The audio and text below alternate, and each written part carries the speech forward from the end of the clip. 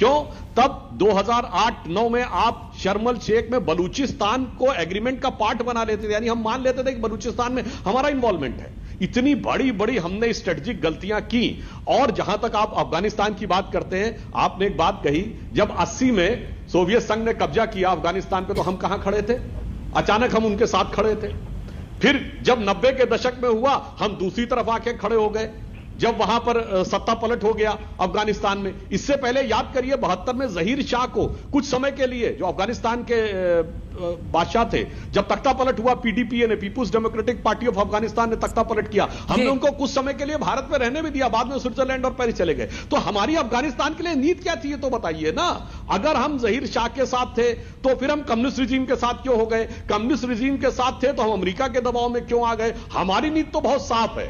हम किसी भी प्रकार की कट्टरपंथी ताकत को बढ़ावा नहीं देना चाहते और एक बात और ईमानदारी से कह दीजिएगा। क्या सीए गलत था क्या? आज ये हालात आपको काबुल में दिख रहे हैं विशेषकर हिंदुओं और सिखों के क्योंकि जिस दिन शरीयत लागू हुआ सारे गैर मुस्लिम दोयम दर्जे के नागरिक हो गए। अब आप दिल पे हाथ रख के कहिए वो गलत था क्या? या फिर ईमानदारी से कहिए कि हाँ हमसे चूक हो गई थी हम उनका दर्द नहीं समझ पाए थे आज ठीक है जवाब दे रहे हैं। और हम आप, आप जो गलतियाँ गिना रहे वो तो कह रहे हैं हमारी सबसे बड़ी कामयाबियाँ रही है। ये ये कामयाबी है अंजना जी कामयाबी है। पुलवामा से लेकर रूड़ी से लेकर हंदवाड़ा से लेकर पठानकोट से लेकर लगातार आतंकी हमले और आपने किया क्या? आपने जो क्राइम सीन पर उन्हीं अपराधियों को बुला लिया आईएसआई को पाकिस्तान के जिसने ये अपराध में जो इस संगठित अपराध में शामिल थे। मैं पूछना चाहता हूँ सीए की बड़ी बड़ी बातें कर रहे हैं। मैं दो तीन दिन से आपको सुन रहा हूँ सुधांशु जी। कब सीए का नोटिफिकेशन हुआ था बताइए देश को?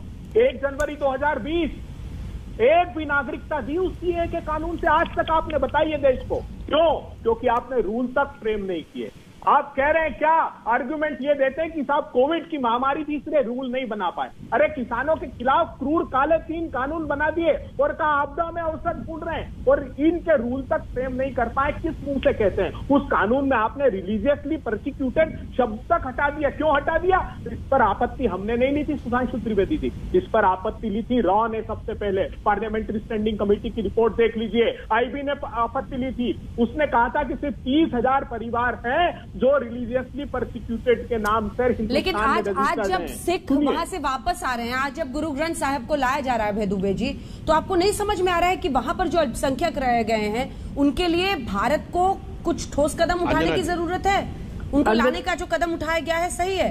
तस्वीरें दिखाई हाँ। नहीं नहीं नहीं सिटीजनशिप अमेंडमेंट सिटीजनशिप एक्ट 1955 में क्या प्रावधान नहीं था नागरिकता देने का? क्या बात करती हैं आप? और मैं तो प्रामाणिक रूप से आरोप लगाता हूँ, उसी पार्लियामेंट्री स्टैंडिंग कमेटी में कहा कि गुजरात में 600 परिवारों को मोदी सरकार के मुख्यमंत्री रहते हुए मोदी जी के, जबकि पावर का डेलीगेशन कर दिया गया था, उन परिवारों को आज तक भी नागरिकता नहीं दी मैं इस बहस में नहीं पढ़ना चाहता, सुधांशु जी।